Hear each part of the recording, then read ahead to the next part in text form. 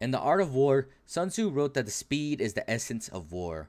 While he, of course, did not have amphetamines in mind, he had no doubt had been impressed by our powerful war facilitating psychoactive effects.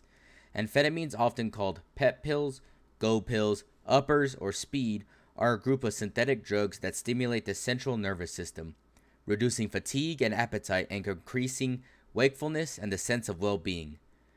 The quintessential drug of the modern industrial age, amphetamines arrived relatively late in the history of the mind altering substances. Commercialized just in time for mass consumption during World War II by the leading industrial powers. That war was not only the most destructive war in human history, but also the most pharmaceutically enhanced. It was literally sped up by speed. Japanese, American, and British forces consumed large amounts of amphetamines, but the Germans were the most enthusiastic early adopters, pioneering pill popping on the battlefield during the initial phases of the war. Nazi ideology was fundamentalist in its anti drug stance. Social use of drug was considered both a sign of personal weakness and a symbol of a country's moral decay in the wake of a traumatic and humiliating defeat in World War I. But as Norman Ohler shows in Blitzkrieg Drugs in Nazi Germany, methamphetamine was a privileged exception. While other drugs were banned or discouraged, Methamphetamine was touted as a miracle product when it appeared on the German market in the late 1930s. Indeed, the little pill was the perfect Nazi drug. Germany awake, the Nazis had commanded. Energizing and confidence boosting. Methamphetamine played into the Third Reich's obsession with physical and mental superiority. In sharp contrast to drugs such as heroin or alcohol, methamphetamines were not about escapist pleasure, rather, they were taken for hyper alertness and vigilance. Aryans, who were the embodiment of human perfection in Nazi ideology, Aryans, who were the embodiment of human perfection in Nazi ideology, can now even aspire to be superhuman. And such superhumans could be turned into super soldiers. We don't need weak people, Hitler declared. We only want the strong. Weak people took drugs such as opium to escape. Strong people took methamphetamine to feel stronger. The German chemist Frederick Hauschild had been aware of American amphetamine Benzedrine ever since the drug had been used as a doping product in the Olympic Games in Berlin in 1936.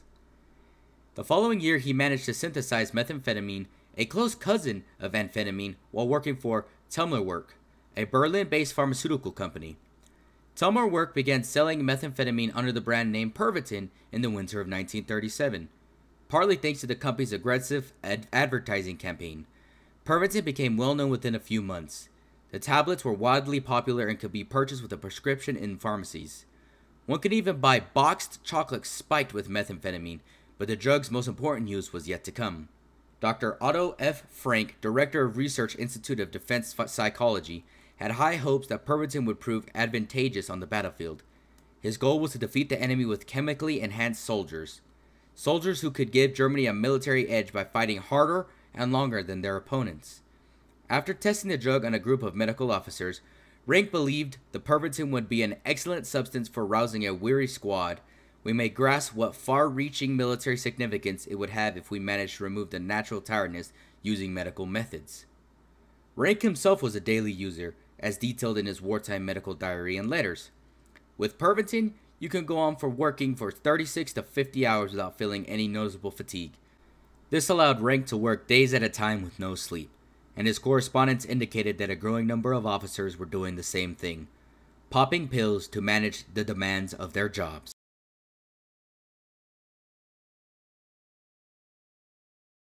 Wehrmacht medical officers administered Pervitin to soldiers of the 3rd Tank Division during the occupation of Czechoslovakia in 1938. But the invasion of Poland in September of 1939 served as the first real military test of the drug in the field. Germany overran its eastern neighbor by October, with 100,000 Polish soldiers being killed in the attack. The invasion introduced a new form of industrialized warfare, Blitzkrieg. The Lightning War emphasized speed and surprise, catching the enemy off guard by the unprecedented quickness of a mechanized attack and advance. The weak link in the Blitzkrieg strategy was the soldiers, who were humans rather than machines, and as such suffered from fatigue. They required regular rest and sleep, which of course slowed down the military advance. That is where Pervitin came in. Part of the speed of the Blitzkrieg literally came from speed. As medical historian Peter Steinkamp puts it, Blitzkrieg was guided by methamphetamine, if not to say that Blitzkrieg was founded on methamphetamine. In late 1939 and early 1940, Leo Conti, the Reich Health Fuhrer, and others sounded the alarm bells about the risk of Pervitin, resulting in the drug being made available by prescription only. But these warnings largely fell on deaf ears, and the new regulations were widely ignored. Use of drug continued to grow. At the same time, production revved into overdrive, pressing as many as 833,000 tablets per day. Between April and July of 1940, German servicemen received more than 35 million methamphetamine tablets. The drug was even dispensed to pilots and tank crews in form of chocolate bars known as Flyers chocolate and Takers chocolate. Armies had long consumed various psychoactive substances, but this was the first large scale use of synthetic performance enhancing drugs. Historian Shelby Stanton comments they, dis- they dispensed it to line troops. 90% of their army had to march on foot, day and night. It was more important for them to keep punching during the blitzkrieg than to get a good night's sleep. The whole damn army was hopped up. It was one of the secrets of blitzkrieg. The blitzkriegs depended on speed, relentlessly pushed ahead with tank troops day and night. In April of 1940, it quickly led to the fall of Denmark and Norway. The next month, the troops moved on to Holland, Belgium, and finally France. German tanks covered 240 miles of challenging terrain, including the Ardennes Forest, in 11 days, bypassing the entrenched British and French forces who had mistakenly assumed the Ardennes was impassable. Paratroopers sometimes landed ahead of the event, causing chaos behind the enemy lines. The British press described these soldiers as heavily drugged, fearless, and berserk. General Heinz Guderian, an expert in tank warfare and leader of this invasion, gave the order to speed ahead of the French border. I demand that you go sleepless for at least three nights if that should be necessary. When they crossed into France, French reinforcements had yet to arrive, and their defenses were overwhelmed by the German attack. I was dumbfounded, Churchill wrote in memoirs. I had never expected to have to face the overrunning of the whole communications and countryside by an irresistible incursion of armored vehicles. I admit it was one of the greatest surprises I had had in my life. The speed of the attack was jaw dropping. High on Pervitin, German tank and artillery drivers covered ground day and night, almost without stopping. Foreign commanders and civilians alike were caught entirely off guard.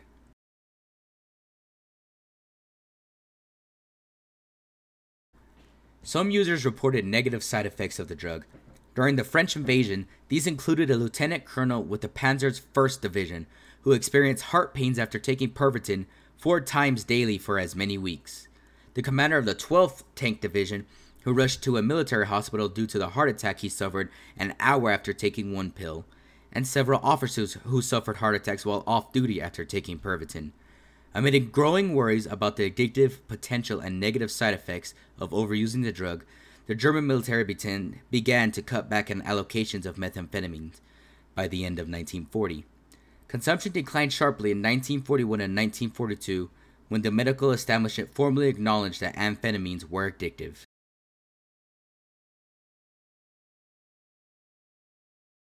So, in the end, as you can see, Pervitin was an absolute factor in making sure that the German blitzkrieg worked and without the fast paced and unrelenting attack that the Germans used against their enemies throughout World War II, it would have never happened.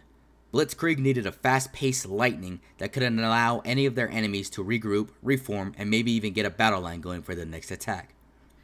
But with this drug fueling them to go 72 hours without sleep, without food, and without fear of death, it created a monstrous onslaught of superhuman like soldiers that if you went up against them, you feel like there is nothing that you can do to stop them. And with that, this will be the end of the episode. Thank you guys so much for coming in and joining me. I hope you guys enjoyed. Please let me know down below in the comments if you agree or disagree, and any other video ideas that you might have.